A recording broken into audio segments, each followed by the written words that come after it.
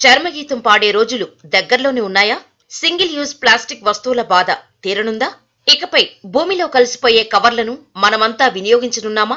అంటే అవుననే సమాధానాలు వెలువడుతున్నాయి. డిఆర్డీఓ ఎకోలాస్టిక్స్ అనే సంస్థతో కలిసి తయారు చేసిన వంద శాతం బయో కంపోస్టబుల్ కవర్లు కొత్త ఆశలు రేకెత్తిస్తున్నాయి. నీటిలో కరిగే భూమిలో కలిసిపోయే ఉత్పత్తులను తయారు చేస్తుంది. పొద్దున లేచిని మొదలు రాత్రి పడుకునే వరకు కూడా ప్లాస్టిక్ అనేటువంటిది మన జీవితంలో ఒక భాగస్వామిగా పారిపోయిందని చెప్పుకోవచ్చు. ప్లాస్టిక్ వస్తువులు లేని రోజు గడవదంటే మనం అతిశయోక్తి కాదు అని కూడా చెప్పుకోవచ్చు. పొద్దున లేచిన మొదలు అంటే మనం వాడేటువంటి టూత్ బ్రష్ కానివ్వండి స్పూన్ కానివ్వండి టీ కప్పు కానివ్వండి ప్లాస్టిక్ ప్లేట్ కానివ్వండి ఇలా ఒక్కసారి వాడి పడేసేటువంటి ప్లాస్టిక్ వస్తువులన్నీ కూడా భూమిలో కరగాలంటే దాదాపు నాలుగు వందల ఏళ్ళకు పైగానే పడుతుంది. సో ఇలా జీవరాశి కానివ్వండి మానవ మనుగడకు కానివ్వండి ఇలా ప్రమాదకరంగా మారినటువంటి ఈ ప్లాస్టిక్కు ప్రత్యామ్నాయాన్ని కనిపెట్టాలని చాలామంది కూడా పరిశోధనలు చేస్తున్నారు. సో తాజాగా హైదరాబాద్కి చెందినటువంటి ఎకోలాస్టిక్స్ అనేటువంటి సంస్థ ఒక బయోడిగ్రేడబుల్ బ్యాగ్స్ని కూడా ప్లాస్టిక్ని కూడా అందుబాటులోకి తీసుకొచ్చింది. సో ప్రస్తుతం మనం ఆ సంస్థకు సంబంధించినటువంటి ప్లేస్లో ఉన్నాం.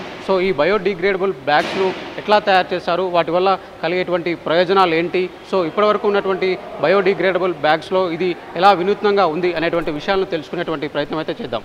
కవర్లు టూత్ బ్రష్లు స్పూన్లు ప్లేట్లు వాటర్ బాటిల్స్. ఇలా ఒక్కసారి వాడి పడేసే ఏ వస్తువు తయారీకైనా ప్లాస్టిక్ అవసరమవుతుంది. ఇలా సింగిల్ యూజ్ ప్లాస్టిక్ వస్తువులను వినియోగించిన తర్వాత ఎక్కడ పడితే అక్కడ పడేస్తుంటాం. ఈ ప్లాస్టిక్ అంతా కుళ్ళిపోయి భూమిలో కలవటానికి దాదాపు వెయ్యేళ్ళు పడుతుంది. ఇది పర్యావరణంపై తీవ్రమైన ప్రభావాన్ని చూపుతుంది. రీసైక్లింగ్కు పనికిరాని విధంగా ప్లాస్టిక్ కవర్లను తయారు చేస్తుండటంతో వీటి ప్రమాదం మరీ ఎక్కువవుతోంది. బయటపడేసే ప్లాస్టిక్ వస్తువులను కవర్లను తినే జంతువులు మృత్యువాత పడుతున్నాయి. ఇక ఎక్కువ భాగం ప్లాస్టిక్ కవర్లు ప్లాస్టిక్ వస్తువులు సముద్రాల్లో కలుస్తున్నాయి. వీటిని తిన్న సముద్ర జీవరాశులు మరణిస్తున్నాయి. ప్లాస్టిక్ ప్రత్యామ్నాయాలను కనిపెట్టే పరిశోధనలు సాగుతూనే ఉన్నాయి. ఇందులో భాగంగానే డిఆర్డీఓ ఏకోలాస్టిక్స్ అనే ప్రైవేట్ సంస్థతో కలిసి బయో కంపోస్టబుల్ కవర్లకు రూపకల్పన చేసింది. ప్రస్తుతం మనం బయోడిగ్రేడబుల్ బ్యాగ్స్ తయారు చేసేటువంటి ఎకోలాస్టిక్ సంస్థకు చెందినటువంటి ప్లాంట్ వద్ద ఉన్నాం. మనం విజువల్స్లో క్లియర్గా చూడవచ్చు. ఈ ప్లాంట్ వద్దనే ఇక్కడ ఉన్నటువంటి మెషిన్ సహాయంతోనే ఇక్కడ ఉన్న మనం ఫస్ట్ ముడిసరుకుగా తీసుకునేటువంటి మన మొక్కజొన్న పిండితో వీటిని భూమిలో కలిసేటువంటి బ్యాగ్స్గా తయారు చేసేటువంటి ప్రక్రియను ఇక్కడే చేస్తూ ఉంటారు. సో ప్రస్తుతం మనం విజువల్స్లో చూస్తున్నట్టుగా ఇక్కడ ఉన్నటువంటి మెటీరియల్ అంటే మొక్కజొన్న పౌడర్తోనే ఈ ప్రక్రియ స్టార్ట్ అవుతుంది. ప్రస్తుతం మనతో ఎకోలాస్టిక్ సంస్థ డైరెక్టర్ పురుషోత్తం గారు ఉన్నారు. ఆయన అడిగి అసలు ఈ పిండి పదార్థము ఈ బయోడిగ్రేడబుల్ బ్యాగ్గా ఎలా మారుతుంది అనేటువంటి విషయాలను తెలుసుకునేటువంటి ప్రయత్నం చేద్దాం. ఓవరాల్గా పూర్తిగా ప్రక్రియ ఎలా ఉంటుంది దీని ద్వారా మనకు కలిగేటువంటి ప్రయోజనాలు ఏంటి అనేటువంటి విషయాలను తెలుసుకుందాం. సార్ చెప్పండి ముఖ్యంగా ఈ బయోడిగ్రేడబుల్ బ్యాగ్స్ ఎట్లా తయారు చేస్తారు? వీటి ముడిసరుకు ఏంటి? ఈ ప్రాసెస్ అంతా ఎట్లా ఉంటుంది? డెఫినెట్లీ సో uh, మనం రీసెంట్గా డిఆర్డిఓతో కలిసి DRDO ఎకోలాస్టిక్ కొలాబరేషన్తో hundred percent biodegradable compostable bags launch చేశాము. ఆ లాంచ్ గురించి ఆ బ్యాగ్స్ ఎలా తయారు చేస్తాము దాంట్లో ఏమేమి వాడతాము దాని యొక్క ప్రాపర్టీస్ ఏంటి అవన్నీ నేను మీకు ఇప్పుడు ఎక్స్ప్లెయిన్ చేస్తాను. సో మనకు ఈ బ్యాగ్స్ తయారు చేయడానికి ముఖ్యమైన ముడి పదార్థం రా మెటీరియల్ వచ్చి స్టార్చ్. సో ఇది కార్న్ స్టార్చ్ మొక్కజొన్న పిండి. దీన్ని వేరే వేరే స్టార్చ్లతో తయారు చేసుకోవచ్చు. లైక్ బంగాళాదుంప స్టార్చ్ తయారు చేసుకోవచ్చు లేకుంటే రైస్ స్టార్ తయారు చేసుకోవచ్చు. కాకపోతే అవన్నీ మనం తినే పదార్థాలు. సో కార్న్ వచ్చి మనం బా పండిస్తున్నాం కాబట్టి అవైలబిలిటీ బాగుంటుంది కార్ను. కాస్ట్ తక్కువగా ఉంటుంది. కాబట్టి మనం దానిపైన ఫోకస్ చేసి చేసుకున్నాము. సో మనం ముఖ్యమైన రా మెటీరియల్ ముడి పదార్థం వచ్చి కారు స్టార్చ్. సో ఇది మొక్కజొన్న పిండి. మీరు దీంట్లో చూడొచ్చు. సో ఇది తినగలిగే పదార్థం. సో ఇది దీన్ని మనము బ్యాగ్గా కన్వర్ట్ చేస్తే సో ఇది మనం రేపు బయట ఎన్విరాన్మెంట్లో పడేసినా కానీ లేకుంటే కంపోస్టింగ్ కండిషన్లో కంపోస్ట్ చేసినా కానీ ఇది ఎరువుగా మారిపోతుంది. ఇది డిగ్రేడ్ అయితే ఆక్సిజన్ కార్బన్ డైఆక్సైడ్ ఎరువు ఇలాంటి పదార్థాలు తయారవుతాయి కాబట్టి అది పర్యావరణం చెడు చేయదు. అందువల్ల దీంతో చేస్తాం. పిండితో తయారు చేస్తాం కాబట్టి బ్యాక్టీరియా సులువుగా తినేస్తుంది. మామూలు ప్లాస్టిక్ మనం వాడితే అంటే ఎల్డిపిఈ ప్లాస్టిక్ అలాంటివి వాడితే దాన్ని ఆయిల్తో తయారు చేస్తారు. Petroleum product. అది బ్యాక్టీరియా తినదు. అది బయటపడేస్తే నాలుగు వందల ఏళ్ళైనా కానీ అలాగే ఎన్విరాన్మెంట్లో ఉంటుంది. అది మనకు చాలా విధాలుగా చెడు చేస్తుంది. అది మన నీటిలో కలిస్తే కాలువలు బ్లాక్ చేస్తుంది. మన అనిమల్స్ పశువులు ఏమన్నా తింటే అది టాక్సిక్ సో దానికి చాలా డేంజర్గా తయారవుతుంది. వాటర్లో పడితే ఫిషెస్ తింటే ఫిషెస్ కూడా చనిపోతాయి. అవన్నీ అడ్రస్ చేయాలంటే మనము ఈ పిండి పదార్థం చేసిన కవర్ని పడేసినా కానీ అవి తిన్నా కానీ దానికి చెడు జరగదు. సో ముఖ్యంగా చూసుకున్నట్లయితే కేవలం ఈ పిండి పదార్థంతోనే మనం బ్యాగ్ తయారు చేస్తామా? దీనికి ఇంకా ఏమేమి యాడ్ చేస్తారు సార్? ఏమేమి మెటీరియల్స్ యాడ్ చేస్తారో ఆ ప్రాసెస్ ఎట్లా ఉంటుంది. ఈ పిండి పదార్థాలు ఏమంటే జనరల్గా నీటిలో వేస్తే కరిగిపోతాయి.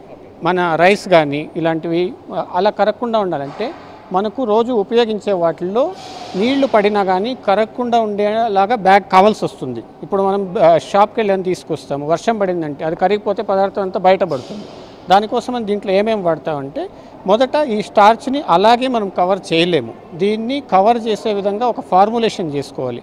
సో ఈ కార్న్తో పాటు మనం ఏం చేస్తామంటే వెజిటేబుల్ ఆయిల్స్ ఇంకా స్టెబిలైజర్ అడిటివ్స్ అంటాం. అంటే మనము హీట్లో వేసినా కానీ అది ఏం కాకుండా ఉండాలి. అవన్నీ కలిపి ఫస్ట్ స్టార్చ్ని గ్రాన్యూల్స్గా చేసుకుంటాం. మొదట మనం స్టార్చ్ తర్వాత వెజిటేబుల్ అడిటివ్స్ తర్వాత దీంట్లో ఇంకా కొన్ని ఫిల్లర్స్ అని వాడతాం అంటే స్ట్రెంగ్త్ రావడానికి కాస్ట్ తగ్గించడానికి. ఫిల్లర్స్ ఏమంటే కాల్షియం బేస్డ్ ఫిల్లర్స్ సో అదేమవుతుందంటే దాన్ని కలిపినప్పుడు అది ఎన్విరాన్మెంట్ చెడు చేయదు. కాకపోతే మనకు బ్యాగ్ స్ట్రెంగ్త్ ఇస్తుంది. సో ఇలాంటివన్నీ కలిపి మొదట దీన్ని కలిపి ఫార్ములేషన్ చేసుకొని దీన్ని మెషిన్లో తీసుకొని పెల్లెట్స్ అంటాం గ్రాన్యూల్స్ తయారు చేసుకుంటాం. చిన్న చిన్న దాన అంటారు. సో దాన్ని తయారు చేసుకొని దాన్ని ఏం చేస్తామంటే నెక్స్ట్ ఇలాంటి పెల్లెట్స్గా వస్తాయి. సో దీంట్లో రెండు విధాలుగా ఉంటాయి. దీంట్లో స్టార్చ్ ఉంటుంది. ఇంకోటి ఏమంటే దీంట్లో ఒక బయోడిగ్రేడబుల్ పాలిమర్ వాడతాము. దాన్ని పీబ్యాట్ అంటారు. అది వచ్చి హండ్రెడ్ పర్సెంట్ బయోడిగ్రేడబుల్ సో అది మనం బయట నుంచి తీసుకుంటాం అది. అది ఎందుకు అవసరం అంటే ఇది లేకుంటే స్టార్చ్ నీళ్ళలో కరిగిపోతుంది. సో మనం మేజర్గా మన ఎక్కువగా మన ప్రోడక్ట్లో ఉన్నది స్టార్చ్ ఉంటుంది. సో దీన్ని రెండు తీసుకొని దీన్ని ఈ మెషిన్లో వేసి దీన్ని ట్విన్ స్క్రూ ఎక్స్ట్రూడర్ అంటారు. సో ఇది కాంపౌండింగ్ మెషిన్ ఇది. మనం వేసిన డిఫరెంట్ డిఫరెంట్ అడిటివ్స్ తర్వాత ఈ పెల్లెట్స్ అని దీంట్లో వేసి ఇది హై టెంపరేచర్లో నడుస్తుంది. ఇది వన్ ట్వంటీ నుంచి వన్ థర్టీ డిగ్రీస్ టెంపరేచర్లో దీన్ని హై స్పీడ్లో మిక్స్ చేస్తాం. ఈ ఫార్ములేషన్ అంతా మిక్స్ అయ్యి మళ్ళీ మనకు గ్రాన్యువల్ తయారవుతుంది. ఆ గ్రాన్యువల్స్ ఏం చేస్తామంటే ఇది చాలా హాట్గా ఉంటుంది. దీనికి కూలింగ్ అవసరం. సో మన మెషిన్ నుంచి వచ్చినప్పుడు వన్ థర్టీ డిగ్రీ ఉంటుంది. సో దీనిపైన కూలింగ్ అవుతుంది ఇది. ఇది కూలింగ్ ట్రే. ఈ బయోడిగ్రేడబుల్ బ్యాగ్స్లో మీరు ఎన్ని వేరియంట్స్ తయారు చేశారు అవి భూమిలో కానీ వాటర్లో కానీ ఎట్లా కలుస్తాయి ఎట్లా కంపోస్ట్ అవుతాయి? ఓకే. సో మనం ఇప్పుడు లాంచ్ చేసింది రెండు ప్రోడక్ట్స్ లాంచ్ చేసాము. ఇంకా చాలా ప్రోడక్ట్స్ డెవలప్మెంట్లో ఉన్నాయి. మనం లాంచ్ చేసిన ప్రోడక్ట్స్లో రెండు వేరియంట్స్ ఉన్నాయి. ఒకటి వచ్చి వాటర్ సాల్యుబుల్ కాదు. ఇది కరగదు. ఇది భూమిలో మాత్రం కరుగుతుంది కంపోస్టబుల్. ఇది కంపోస్టింగ్ కండిషన్లో వేస్తే ఎరువుగా మారిపోతుంది ఇది. కొన్ని రోజులకి లేకుంటే భూమిలో పడేస్తే కొన్ని రోజులకి బ్యాక్టీరియా తినడం వల్ల కరిగిపోతుంది. కాకపోతే ఇది వాటర్లో కరగదు. ఎందుకు ఇది అవసరం అంటే మనం యూ- యూస్ చేసే చాలా ప్రోడక్ట్స్ వాటర్ టచ్ అయితే పాడు కాకూడదు. మనం ఇప్పుడు మార్కెట్ నుంచి సరుకులు తెస్తుంటాం వర్షం పడింది పాడు కాకూడదు. ఆ రీజన్ వల్ల దీన్ని తయారు చేశాము. మనం ఇంకా ఒక వేరియంట్ చేసాము ఇది వచ్చి వాటర్ సాల్యుబుల్. వాటర్ సాల్యుబుల్లో మనము దీన్ని hot water soluble cold water soluble అలాగా చేసుకోవచ్చు. సో చల్లని నీళ్ళలో కరిగేది కొద్దిగా స్ట్రెంత్ అంతా తక్కువ ఉంటుంది ఈజీగా కరిగిపోతుంది. వేడి నీళ్ళలో కరిగేది పర్పస్ఫుల్గా యూజ్ చేసిన తర్వాత వేడి నీళ్ళు వేస్తే కరుగుతుంది. సో దీనివల్ల అడ్వాంటేజ్ ఏమంటే ఇది వచ్చి నీటిలో డిగ్రేడ్ అవుతుంది. ఓకే ఇది ముఖ్యంగా డిస్పోజ్ చేయాలంటే నీటిలో డిస్పోజ్ చేయాలి. ఇది ఏదైనా సముద్రంలో పడేసే ఉంటాయి. ఇప్పుడు ఫిషెస్కి పట్టడానికి ఫుడ్ అంతా పెడతారు. అలాంటి వాటికి యూజ్ అవుతుంది. తర్వాత ఈ బట్టలు ప్యాక్ చేయడానికి దీనిపైన రాస్తాం. After use dispose in water అని. అలాంటి ప్లేస్లో మాత్రం ఇది వాడతాము. సో కాకపోతే ఇది నీటిలో వేస్తే ఏమవుతుందంటే పూర్తి కరిగిపోతుంది. సో దాన్ని డెమో చూపించాం కదా. సో ఇది హాట్ వాటర్లో వేస్తే కరిగిపోతుంది. ఒకవేళ ఇది ఫిషెస్ ఏమైనా తిన్నా కానీ డేంజర్ కాదు ఇది. సో మొత్తంగా చూసుకున్నట్లయితే ఇప్పుడు వాటర్లో కలిసేది కానీ భూమిలో కలిసేది కానీ ఎన్ని రోజులలో మొత్తం కంపోస్ట్ అయిపోతుంది సార్? సో మనము భూమిలో కలిసేది కంపోస్టింగ్ వచ్చి ఇది ఎయిటీ డేస్ నుంచి వన్ ఎయిటీ డేస్లో కంపోస్ట్ అవుతుంది. సో ఆల్రెడీ మనం సిపెట్లో దాన్ని టెస్ట్ చేసాము సో ఆ, నీళ్ళలో కరిగేది నీళ్ళలో పడేగానే డిస్ డిసింటిగ్రేట్ అవుతుంది. సో దానికి స్పెసిఫిక్ టైం అని కాదు ఇమీడియట్గా అది డిసింటిగ్రేట్ అయిపోతుంది. సో ఇప్పుడు ఈ వాటర్ని మనం అంటే ఆల్మోస్ట్ ఆల్ మొత్తం పిండితోనే తయారు చేసాం కాబట్టి ఈ వాటర్ మొత్తం తాగినా కూడా ఎలాంటి ప్రాబ్లం లేదంట. ఇది అనిమల్స్ కానీ ఫిషెస్ కానీ తిన్నా కానీ డేంజర్ కాదు. కాకపోతే ఇది మనుషులు తినడానికి అనుకూలం కాదు. మనం ఇండస్ట్రియల్ కండిషన్లో ప్రొడ్యూస్ చేస్తున్నాము ఇది మనం ఫుడ్ గ్రేడ్ కండిషన్లో ప్రొడ్యూస్ చేస్తే తిన్నా కానీ ఏం కాదు. బట్ మనుషులు తినడానికి సజెస్ట్ చేయం మేము. ఒకవేళ బై మిస్టేక్ అలా అయినా వెళ్ళినా కానీ ఇట్ ఈస్ నాట్ డేంజరస్ మనకేం చెడు జరగదు. సో ఇప్పుడు మనకు మార్కెట్లో లభించేటువంటి ప్లాస్టిక్ బ్యాగ్స్తో కంపేర్ చేస్తే ఈ బ్యాగ్స్ ఎంతవరకు స్ట్రెంత్గా ఉంటాయి సార్? ఎన్ని రోజుల వరకు మనం మామూలుగా డే టు డే లైఫ్లో వాడుకోవచ్చు అంటారు? నార్మల్ బ్యాగ్స్ ఆ, సో నార్మల్ బ్యాగ్స్ వచ్చి ప్లాస్టిక్ ఎన్ని రోజులైనా కరగదు. మీరు కబోర్డ్లో తీసి పెట్టుకొని పదేళ్ళైనా వాడుకోవచ్చు. ఏం కాదు. అది బయోడిగ్రేడ్ కాదు. స్ట్రెంత్ విధంగా చూస్తే నార్మల్ బ్యాగ్స్ ఈ బ్యాగ్స్ స్ట్రెంత్ వైజ్ ఒకే విధంగా ఉంటాయి. ఇంకా స్ట్రెంత్ కూడా పెంచుకోవచ్చు అవసరమైతే దీంట్లో. ఒక చిన్న బ్యాగ్లో త్రీ కేజీల బ్యాగ్లో మనం ఫైవ్ కేజీ టెస్ట్ చేసాం. సో ఇదేం కాదు. కాకపోతే ఏమంటే నార్మల్ బ్యాగ్ అలాగే ఉంటుంది. ఇది ఏదేమంటే మీరు కబోర్డ్లో పెట్టినా కానీ బయట పడేసినా కానీ కొన్ని రోజులు స్ట్రెంత్ తగ్గిపోతుంది.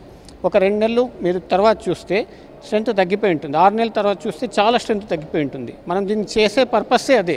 అది స్ట్రెంత్ తగ్గిపోయి డిగ్రేడ్ అయిపోయి అది టోటల్గా మాయమైపోవాలి. సో అందువల్ల ఇది ఎక్కువ రోజులు పెట్టుకొని యూస్ చేయడానికి రికమెండెడ్ కాదు. ఇది సింగిల్ యూస్ ప్లాస్టిక్స్ రికమెండెడ్. ఎక్కడ మనం పడేస్తామో ఒకసారి యూస్ చేసి దానికి రికమెండెడ్ ఇది. సో కాస్ట్ పరంగా చూసుకున్నట్లయితే మనకు అంటే డైలీగా యూజ్ చేసే వాళ్ళకి ఎట్లా లాభం కలుగుతుందంట అసలు దీనివల్ల. సో కాస్ట్ విధంగా చూస్తే మనము సపోజ్ ఒక వన్ కేజీ బ్యాగ్ కంపేర్ చేద్దాం అనుకోండి ప్లాస్టిక్ బ్యాగ్ వన్ కేజీ ఇది బ్యాగ్ వన్ కేజీ తీసుకుంటే ఒకే థిక్నెస్ ఒకే సైజ్ చేస్తే దీని కాస్ట్ ఎక్కువ ఉంటుంది. ఎందుకంటే మనం రా మెటీరియల్ కానీ దీని ప్రొడక్షన్ చేసే టైం కానీ ఎక్కువ ఉంటుంది. కాకపోతే గవర్నమెంట్ ఏం రూల్ ఒకటి ఉంది. ఈ ప్లాస్టిక్స్ పొల్యూషన్ తక్కువ చేయడానికి ప్రస్తుతం ఉన్న రూల్ ప్రకారం మినిమం ఫిఫ్టీ మైక్రాన్ చేయాలి. సో మనం ఒక త్రీ కేజీ తీసుకెళ్ళడానికి ఫిఫ్టీ మైక్రాన్ అవసరం లేదు. కాకపోతే రూల్ వల్ల ఫిఫ్టీ మైక్రాన్ చేస్తున్నారు. సో అదే దీనికైతే థిక్నెస్ లిమిట్ లేదు. ట్వంటీ ఫైవ్ మైక్రాన్ కూడా చేసుకోవచ్చు. లోడ్ బేరింగ్ ఉంటుంది. ఆ విధంగా చూస్తే మనం మెటీరియల్ వాడడం తగ్గిపోతుంది. ఆ తగ్గిపోయినప్పుడు ఆ- ఆటోమేటిక్గా కాస్ట్ కూడా తగ్గుతుంది. ప్రస్తుతానికి మనం ఏం చెప్పగలమంటే ఇది ప్లాస్టిక్ కంపేరబుల్ కాస్ట్లో ఉంటుంది. ఎక్కువ బర్డన్ కాదు ఇంప్లిమెంట్ చేసినా కానీ ప్రభుత్వ నిబంధనలకు అనుగుణంగా యాభై రెండు మైక్రాన్ల కన్నా మంద ఉన్న కవర్ల తయారీకి అయ్యే ఖర్చులోనే వీటిని కూడా అందిస్తున్నామని ఎకో లాస్టిక్స్ కంపెనీ ప్రతినిధులు చెబుతున్నారు. తిరుమల తిరుపతి దేవస్థానంతో అవగాహన ఒప్పందాన్ని కుదుర్చుకున్నామని త్వరలోనే భక్తులకు లడ్డూలను ముప్పై మైక్రాన్ల మందమున్న ఈ కవర్లలోనే అందించనున్నామని తెలిపారు. రక్షించారు ఇవి వంద శాతం బయోడిగ్రేడబుల్ అని వీటిపై అన్ని రకాల టెస్టులు నిర్వహించామని చెబుతున్నారు. Normal polyethylene bag it takes very long time for degradation maybe around five hundred 500 to 1000 years. So it is spoiling entire environment as well as our nature. That is the origin for our thoughts to come into reality saying that we have to go for biodegradable bags. So in this we have taken uh, some starch material. In the starch we have added some additives. These additives we mix it together. We optimize the parameters ratios process parameters and finally we are given the formulation to the a Mrs. Ecoelastic uh, Products Company. This company, they made it uh, uh, their process parameters optimization and finally they could able to produce the bags. These bags, once they produced, were gone for, um, uh, once uh, we are gone for production, they have gone for testing. So testing ayin we have gone for uh, launching of the process. అంటే ఎట్లా test చేస్తారు ఎలాంటి రకాల test? So మేము ఇచ్చిన బ్యాగ్కి మనకు wait ఎలా bear చేయగలుగుతుందా లేదా? ఎందుకంటే మనం కామన్ మ్యాన్ చూసేది ఏంటి? ఈ బ్యాగ్లో ఎంత వెయిట్ తీసుకోగలము? రైస్ కానీ especially we have started thinking about laddoos carrying bag in Tirupati so that laddoos we have kept it three sizes bags small medium and large size ba- size. Bag, we are able to carry 2 kg weight, 5 laddus. Medium size is around uh, 5 kg weight it can carry. 10 laddus we can able to uh, make the uh, pilgrim mover uh, coming there. That's the first origin of uh, thinking. So that all weights, uh, 5 kg, t- 8 kg, 10 kg weights, we kept it uh, in the form of rice uh, as laddus and everything we have uh, hanged and we tested it. మొత్తానికి సహజ సిద్ధమైన ఉత్పత్తులతో తయారు చేసిన ఈ కొత్త తరహా bio compostable కవర్లు plastic మంచి ప్రత్యామ్నాయంగా మారనున్నాయనే అభిప్రాయాలు వ్యక్తమవుతున్నాయి. ప్లాస్టిక్ భూత ప్రపంచం మొత్తాన్ని కూడా గడగల్లాడిస్తుంది పర్యావరణాన్ని ఎంతగానో దెబ్బతీస్తుంది. కాలుష్యానికి కూడా కారణమవుతున్నటువంటి ప్లాస్టిక్ ప్రత్యామ్నాయాన్ని తీసుకురావడానికి ఎంతోమంది కూడా చాలా విధాలుగా కష్టపడుతూనే ఉన్నారు. తాజాగా ఇప్పటివరకు మనం చూసినటువంటి ఎకోలాస్టిక్ సంస్థ తయారు చేసినటువంటి బయోడిగ్రేడబుల్ బ్యాగ్స్ కూడా సో ఇవన్నీ కూడా భూమిలో కలిసిపోతూ మానవ మనుగడకు ఎంతో సహకరిస్తాయని కూడా చెప్పుకోవచ్చు. సో అందమైనటువంటి ఈ ఆకర్షణీయమైనటువంటి ఆరోగ్యకరమైనటువంటి ఈ భూ ప్రపంచాన్ని అంతే అపూర్వంగా భవిష్యత్ తరాలకు అందించాలంటే మాత్రం ఇలాంటి ప్రోడక్ట్స్ రావాల్సినటువంటి అవసరం ఎంతైనా ఉంది. ఇలాంటి సంస్థలను ప్రభుత్వాలు సైతం ప్రోత్సహిస్తే మనం మంచి భవిష్యత్తును కూడా చూసుకోవచ్చు. ప్రజలు శశికాంత్తో శ్రవణ్ ఏబిఎన్ ఆంధ్రజ్యోతి హైదరాబాద్.